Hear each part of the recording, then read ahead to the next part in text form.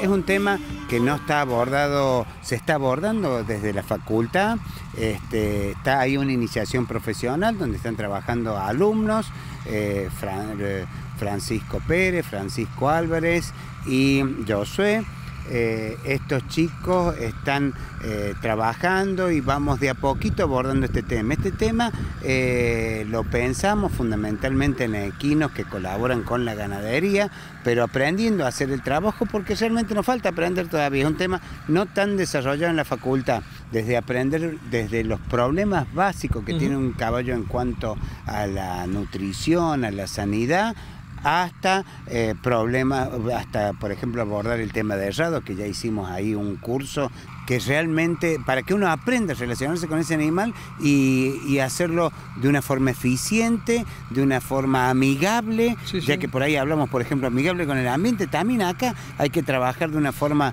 amigable y por otro lado que rinda lo que, lo que para lo que está diseñado ese animal, por supuesto, desde su forma natural hasta para lo que lo utiliza el hombre, que nos gusta este, mostrar lo que se hace y más teniendo en cuenta que este es un campo que es educativo, que es eh, educativo académico, en donde ponemos todas las fichas por, ese lado. ¿eh? Y bueno, la idea es ir avanzando en mejorar los equinos que tenemos y implementarlo en el trabajo con el ganado que, se utiliza acá en la cabaña de la facultad. Eh, ¿Dentro de qué cátedra se hacen estos trabajos? No existe hoy por hoy una cátedra de equinos, sí se está planeando para la carrera de zootecnia, pero mirando esta posibilidad nosotros empezamos con esta iniciación y a decir, bueno, a ver, ir avanzando antes de que se forme la cátedra para ya tener algo, un puntapié inicial cuando se, se, conforme la cátedra. Tenemos un tutor a cargo, que él es el que más o menos el que da un par de conceptos teóricos y nosotros en base a eso trabajamos y hacemos un trabajo final con alguna temática. Se puede implementar curso, por ejemplo hicimos un curso de errado hace un mes y medio aproximadamente, eh, con una vinculación con la policía de la provincia de Córdoba, de la, la caballería mejor dicho. Bueno, nosotros venimos todas las semanas, eh, venimos los miércoles y los viernes particularmente, eh, y bueno, venimos, vamos eh, a hacer lo que haga falta con los caballos, también estamos haciendo otra iniciación con los terneros, así que nos vamos turnando, digamos, con los animales, vamos viendo lo que es un poco también la alimentación, vamos rotando, viendo, nos surgen ideas en esos mismos días, lo vamos consultando también con nuestro tutor, eh, consultas bibliográficas también, veterinarios y demás. Yo eh, arranqué primero en el tambo,